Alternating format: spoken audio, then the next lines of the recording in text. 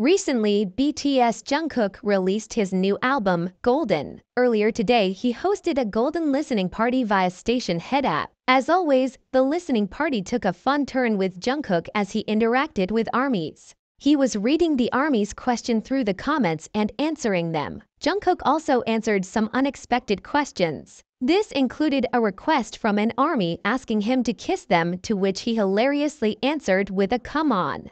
But the most surprising was probably when an army asked, bottom or top? Jungkook answered, top. Armies never imagined Jungkook would answer such a suggestive question. While some armies are suspicious, he might not have understood the question's true meaning. Some argued out that he is literally the same man who released Seven, and obviously knew the meaning. Well, here is the audio. Bottom um or top?